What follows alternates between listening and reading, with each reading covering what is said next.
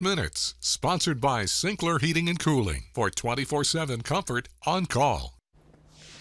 Hello, Brad. Chris, before we get to today's main story, and it is an exciting story. I've never been this excited about a story in a long, long time. I have seen it. It is nuts. Okay, but before we get there, I wanted to make a quick mention because yesterday at this time we told you about mm-hmm. Starship Flight number nine was scheduled for last night.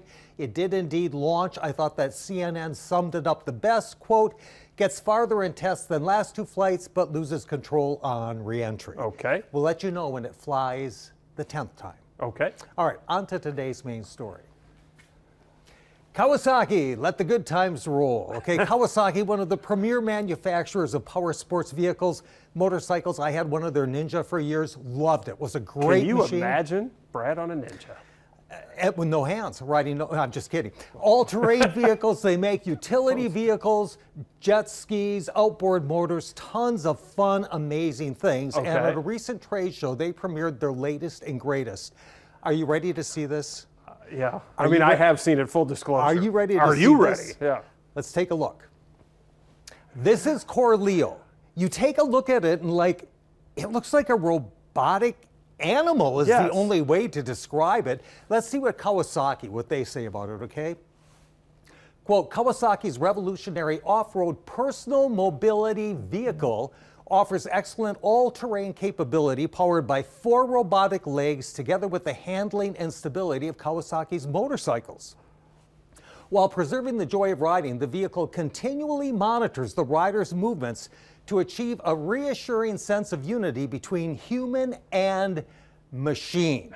Now, hang on. I've got some other pictures you've got okay. to see. So here's a side view. It, it kind of looks like an animal and a yeah, motorcycle. Totally. There's a seat, a stirrup for your foot. There's a little handlebars of sorts, but these legs are just incredible. Like Here's another cutaway view, by the way. that came out of a motorcycle. Exactly. I mean, here they show you some of the, yeah. the, articulating rear leg, and Kawasaki says the rear leg unit can swing up and down independently from the front leg, allowing it to absorb shocks during walking and running, and believe it or not, leaping. It can also jump. well, okay? I would hope so. Okay, so here's another view. Here's the uh, the handlebars, if you will, and the little dash or control panel. It incorporates. Uh oh, Chris. Of course it does. Artificial intelligence to constantly analyze terrain conditions determines the op optimal approach for navigating obstacles and can distinguish between different surface types to adjust its gait accordingly. And at night, it actually projects little markers onto the road surface to indicate the best path ahead. Are you kidding me? Now wait, there's more. It gets better. It does. Okay, so here's another cutaway view, and okay. you can see some of the mechanics associated with the robotics on the legs. Okay, and over here, are these blue things. Fuel cells?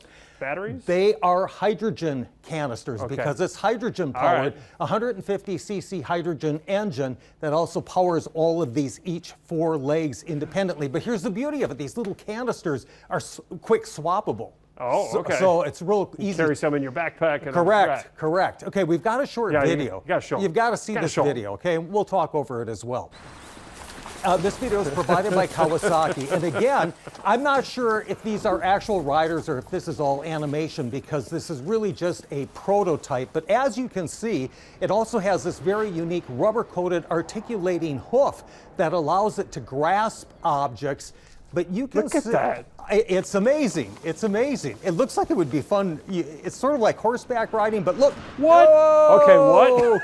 Come on. Okay, I think this is a little. Does AI tell you which chasm you can actually survive when you jump over I don't know, okay. but here, here it is projecting that little yeah. path ahead at night. Okay, so it's really an amazing thing. And by the way, Chris, here, if you're wondering how might this be used, Think of the, the application. Oh, sure. Other than just fun, the military, border patrol, disaster response, forestry management. They're saying it could maybe even go to the moon or Mars, that astronauts could ride them. If all goes well, they say it should be available by 2050. The big, the big thing that it's all hinging in on, rather, is those hydrogen engines sure. and adaptation by purchasers. We know who's going to be first in line. I don't know if the knees could take that. have right, to hang on tight. Brad, thanks so much. Yeah. Still to come here, beat